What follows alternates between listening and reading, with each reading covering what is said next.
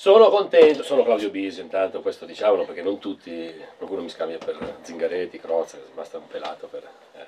Invece sono Claudio Bisio, mm, non, è il primo non è il primo libro che audio, cioè che leggo, e sono felice, soprattutto con Emmons, quanti ne abbiamo fatte insieme. Questo è Il Paradiso degli Orchi, che è il primo della saga dei, di Maloseng, di Benjamin Maloseng, il campo espiatorio, ne ha scritti almeno 5 o 6 addirittura.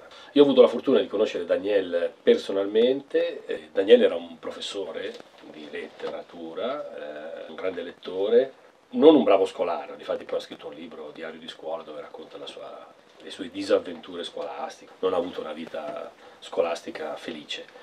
E in questo mi ci riconosco abbastanza. Comunque, eh, da adulto ha recuperato, forse ha sempre avuto, misconosciuto dagli insegnanti, un amore per la letteratura, per la lettura. Questo mi sembra sia stato proprio, sicuramente della saga il primo, forse il primo in assoluto suo libro, che l'ha fatto veramente scoprire in tutto il mondo. Fu un fenomeno agli inizi veramente esplosivo. Forse, forse, tutto questo alla clientela piace.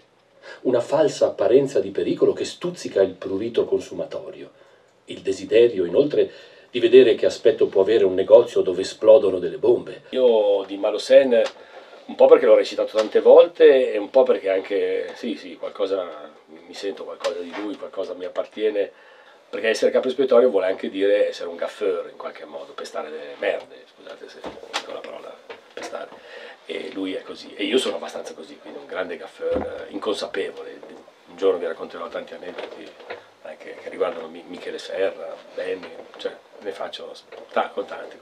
Poi lui ne fa, lui Daniel, parlando di Benjamin, ne fa letteratura e io sono più prosaico, insomma.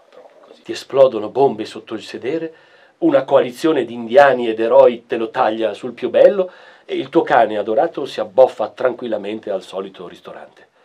Porco di un Julius, non ti conosco più.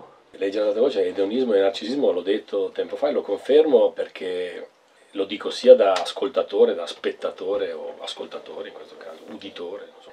amo ascoltare gente che legge e amo anche leggere, un po' perché sono un attore, lavoro su quello anche, ma anche perché mi piace.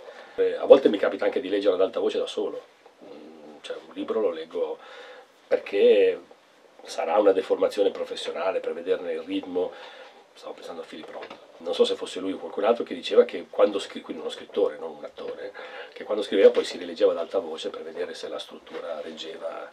E ha senso quello, ha senso questo. Magari sulla, nella pagina eh, il bianco, il rapporto tra il bianco e il nero, c'è un fatto anche fisico e così di di immagine no? estetica tra il rapporto tra il bianco e il nero, cioè quanto fitto è il bianco, però se magari così ti torna, no? poi se lo leggi magari vedi che non c'è un punto da qua a là e non riesci a leggerlo, forse un punto va messo a un certo punto. Invito a scoprirlo sia leggendolo dal vivo, cioè cartaceo, sia se volete ascoltandolo con la mia voce.